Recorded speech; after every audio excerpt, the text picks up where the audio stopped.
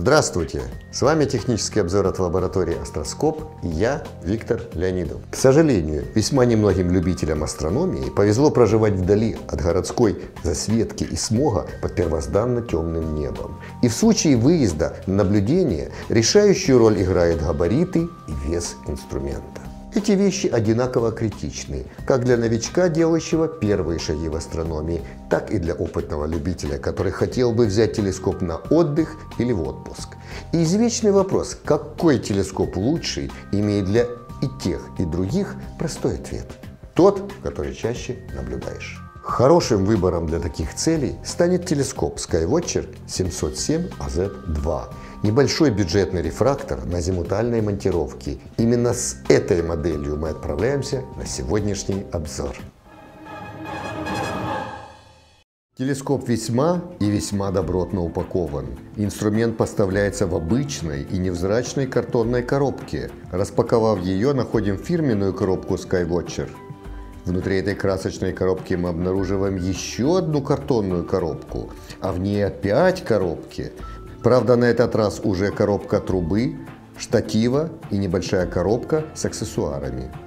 За такой подход к упаковке фирмы Skywatcher нужно поставить жирный плюс, и мы можем быть уверены в том, что телескоп придет к нам в полном порядке и сохранности. Не менее внимательно упакованы аксессуары, каждая мельчайшая деталь в своем индивидуальном пакетике или коробочке. Установка штатива занимает не более двух минут. Выдвинув ноги на требуемую высоту, прикручиваем к имеющимся трем стальным распоркам полочку для аксессуаров. Теперь устанавливаем трубу в пазы полуосей на монтировке. Прикручиваем к трубе штангу тонких движений и Продеваем ее фиксатор на одном из перьев монтировки и затягиваем винты крепления трубы. Снимаем крышки с трубы и обнаруживаем замечательный 70-мм ахроматический объектив, имеющий многослойное просветление. Заглянув внутрь трубы, мы видим несколько диафрагм, которые призваны повысить контраст изображения, отсекая паразитные лучи. Фокусер установим диагональное зеркало, линзу Барлоу и окуляр 10 мм, применяя максимальное увеличение телескопа при стировке искателя. Для этого с помощью трех винтов в оправе искателя необходимо совместить перекрестие искателя с объектом, наблюдаемым в основную трубу. Кроме упомянутых уже линзы Барлоу и окуляра 10 мм, в комплект поставки входит также окуляр 25 мм. Окуляры весьма неплохие, имеют многослойное просветление и удобные резиновые наглазники. А вот линза Барлоу весьма бюджетного исполнения и привносит довольно сильный хроматизм. Сборка телескопа занимает не более 10-15 минут, что говорит о грамотной конструкции инструмента и продуманности узлов, которые призваны облегчить жизнь любителю астрономии.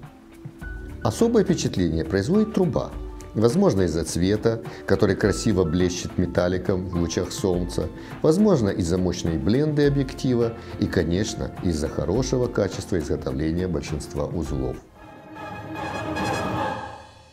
Уже в комплектный окуляр 10 мм с увеличением 70 крат телескоп показал массу подробностей лунного рельефа. Моря, горы, разломы, легендарные лунные кратеры и центральные горки в некоторых из них – Применение комплектной линзы Барлоу дало увеличение 140 крат, однако добавило заметный хроматизм, и хотя масштаб увеличился, больше подробностей рассмотреть не удалось.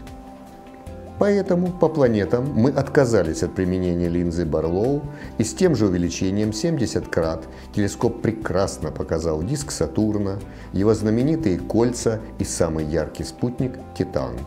У Юпитера угловой размер почти в два раза крупнее – Деталей различается побольше и, конечно, четыре галилеевых спутника, которые уже в течение получаса наблюдений заметно изменили свое положение. В окуляр 25 мм с полем зрения почти в 2 градуса телескоп вполне достойно показал и звездные скопления.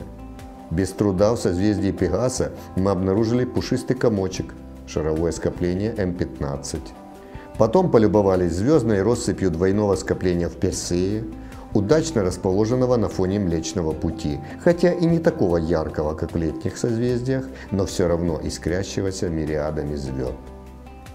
В знаменитых Плеядах, кроме семи звезд, видимых невооруженным глазом, перед нами предстали десятки ярко-голубых светил, семейства молодых звезд, связанных не только визуально, но и гравитационно.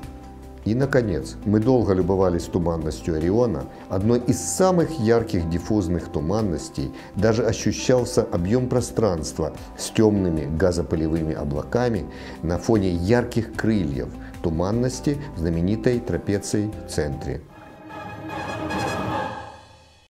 Подведем итог. Skywatcher 707 AZ2 оставляет самое позитивное впечатление. Надежная и качественная упаковка, достойное общее качество, исполнение всех деталей, как оптических, так и механических. Кроме того, отметим быструю установку телескопа в полевых условиях и возможность переносить инструмент чуть ли не одной рукой.